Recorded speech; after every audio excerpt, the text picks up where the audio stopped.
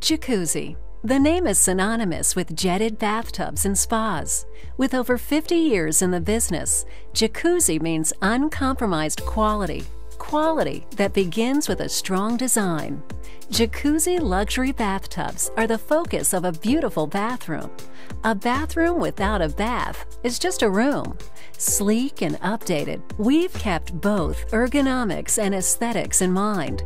We built the bathtub around the experience, and it's that detail that our customers feel the most. Our jets are designed without any moving parts to break or wear out. That means fewer mechanical problems and longer lasting, cleaner jets. And all of our baths drain down, which means the slope of the pipes actually use gravity to reduce residual water, making for a cleaner solution. But most importantly, our tubs are designed and built to last right here in the U.S.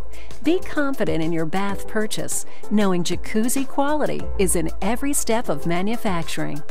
Our luxury bathtubs are made out of high gloss acrylic, heated and vacuum formed on a durable mold. Unlike other materials, acrylic is durable, holds heat, stays glossy, cleans easily, and will look as good years from now as it does upon installation. Now that would make any customer happy, and no other material does all of that. Once molded, bathtubs are backed with jacuzzi formulated resin and fiberglass to provide strength.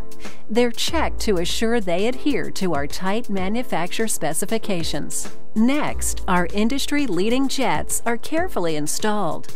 Rest assured that each and every tub is fully tested in our factory to make sure your bathtub is leak free and all jets, controls, and pumps are working perfectly. We even back that up with a two year in home labor warranty for all factory installed components. Now that's peace of mind. Once we're sure your tub is in perfect working order, it's carefully and thoroughly packed.